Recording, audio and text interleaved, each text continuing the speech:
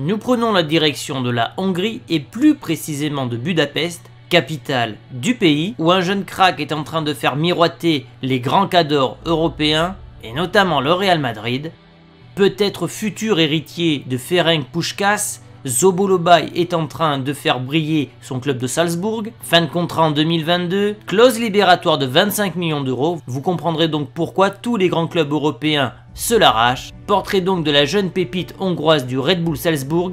Qui est-il? Que vaut-il? Et mérite-t-il de jouer au Real Madrid?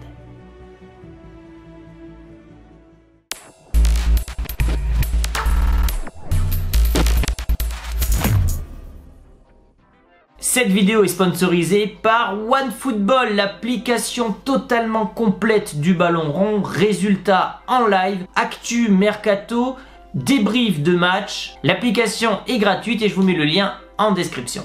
Le Real qui s'était interdit de recruter cette année Covid oblige, les caisses ne sont pas pleines et sont réservées à l'été prochain pour un certain Kylian Mbappé, va peut-être craquer dès cet hiver. Zidane en a fait la demande, Zidane a directement appelé l'intéressé pour le faire venir cet hiver. Est-il si fort que ça? A-t-il réellement le potentiel pour s'imposer du côté du Real? Il est peut-être trop tôt pour dire oui. En attendant, la jeune pépite hongroise a été élue meilleur joueur du championnat d'Autriche là où des joueurs ont brillé auparavant avant d'éclore dans le Big Five européen, Hollande, Erling Hollande, qui était la star du euh, Red Bull Salzbourg, ou Pamecano, le défenseur français du Leipzig. Il y a des joueurs qui sont donc passés en Autriche et qui ont donc réussi par la suite, en passant certes par un club intermédiaire. Lui ferait directement le grand pas de Salzbourg au Real, D'autres l'ont fait avant lui, d'autres ont réussi. Je pense notamment à deux Français, à Varane qui est passé de Lens au Real et Mendy qui est passé de Lyon au Real également. Milieu droitier, dribbleur, capacité d'accélération incroyable qui lui permet d'éliminer ses adversaires avec une facilité déconcertante. En témoigne son but contre l'Islande lors des barrages pour la qualification de l'Euro. Zobolobai sera un adversaire de l'équipe de France au prochain Euro qu'il faudra marquer de très très près pour ne pas être en danger. Alors pourquoi Zidane le veut absolument? Zidane est revenu au Real dans l'optique de reconstruire, de rebâtir un Real. Il a acheté Hazard, plus de 100 millions d'euros, il a acheté Mendy en latéral gauche pour suppléer Marcelo et il a acheté Jovic en attaque qui s'est avéré être un fiasco. Cependant, on se rend compte match après match que ce Real doit être reconstruit de A à Z, de la défense au milieu de terrain à l'attaque. Des joueurs qui ont absolument tout gagné avec ce club.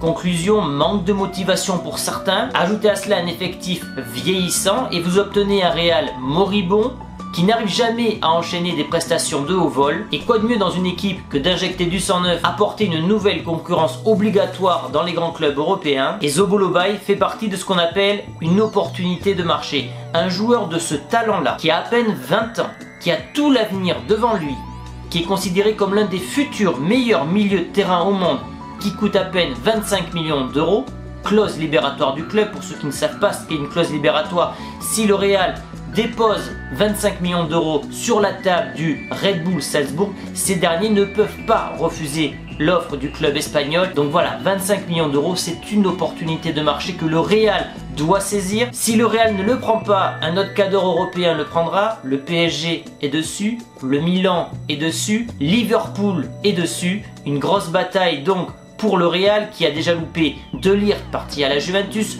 De Jong parti au Barça. Le Real ne peut pas louper tous les cracks de demain. Actuellement, 9 rencontres, 4 buts, 5 passes décisives, à la fois passeur, à la fois buteur, important. Il peut jouer en tant que milieu gauche, mais aussi en tant que milieu offensif centre, une polyvalence qui peut donc servir à Zinedine Zidane. Ce dernier est en fin de contrat en 2022, donc autant vous dire qu'il partira obligatoirement en 2021, qu'il ne renouvellera pas son contrat avec le club autrichien. Au niveau de ses caractéristiques physiques, on est sur le prototype du milieu de terrain moderne, 1m86, 74 kg, donc en plus d'être très bon techniquement, ce dernier pourrait apporter un volume physique au Real qui en manque cruellement. Certains diront que le Real n'a pas besoin de recruter au milieu et moi je vous dirais le contraire. Euh, Modric 35 ans, Kroos a passé la trentaine, Casemiro n'a pas de remplaçant, Valverde est blessé et Odegaard n'est pas encore totalement intégré au Real Madrid. Isco a complètement quitté dans sa tête le Real Madrid. On le voit notamment à sa condition physique. Quand je dis qu'il est à moitié obèse, c'est parce qu'il n'est pas du tout fit. Et justement, Isco, ça pourrait être justement l'élément déclencheur de l'arrivée de ce jeune crack hongrois. Le Real est un club attractif, le Real est le club le plus populaire au monde. Qu'est-ce qui pourrait donc repousser Zobolobai défiler du Real Madrid? Deux choses. Premièrement, Pérez ne veut pas recruter. Pérez, vous savez, a fait la demande aux joueurs de baisser drastiquement leur salaire pour avoir un solde positif en fin d'année. Pérez veut absolument garder sa cagnotte pour le mercato l'été prochain, j'en ai parlé tout à l'heure. Et donc, à moins d'un départ disco qui n'est plus concerné par le Real, qui a en plus de cela demandé à partir, cela libérait une place pour le Real. Et en plus de ça, tu peux vendre Isco plus cher que 25 millions d'euros, tu ferais donc une superbe affaire en vendant Isco peut-être 30-35 millions et en faisant venir le jeune hongrois d'un meilleur niveau que l'espagnol pour un peu moins. Et puis la deuxième chose, c'est que Zobolobai malheureusement n'a aucune certitude que Zidane va rester au Real Madrid. Il était en danger à Séville, il peut encore se faire virer ce mercredi en Ligue des Champions face à Gladbach et pourquoi pas samedi prochain contre l'Atletico en cas d'humiliation à domicile. Donc l'avenir de Zidane n'est pas clair, on est d'accord avec cela. Cependant, quand le train du Real Madrid passe, te propose de te recruter, sachant que le club est à reconstruire de haut en bas, la défense à l'attaque. Tu as donc une opportunité énorme d'être dans les plans du Real Madrid dans les prochaines années. Alors peut-être qu'il peut être intéressé par le projet du Milan qui est en train de reconstruire une belle équipe, pourquoi pas. Il peut être intéressé par Liverpool en première ligue qui est le championnat le plus attractif au monde en termes de spectacle, en termes de salaire. En plus de ça, tu es coaché par le meilleur entraîneur du monde, Jürgen Klopp, qui a un football porté sur l'offensif, où tu sais que tu vas briller de toute façon. Mais le Real, c'est plus que ça. Le Real, c'est euh, c'est l'histoire, c'est les paillettes, c'est les coupes d'Europe, c'est tout ça. Et euh, moi, je pense qu'il a une carte à saisir ce jeune joueur parce que le Real, Modric va partir. C'est sûrement sa dernière saison. Kroos n'est pas amené à jouer pendant plus de deux ans. Casemiro n'a pas de remplaçant, même si c'est pas son poste. Valverde, Odegaard, Bon, mais euh, c'est aussi le futur, mais finalement ce sont que deux joueurs. Et de son côté, le Real peut acheter un joueur qui sera un très bon milieu de terrain demain, que tu ne retrouveras pas à ce prix-là dans deux ans, son prix aura été multiplié par trois. Qu'en plus de cela, pour trouver un joueur de son niveau et à ce prix, avec la flambée des prix du football aujourd'hui, c'est strictement impossible. D'ailleurs, c'est une question que je me pose.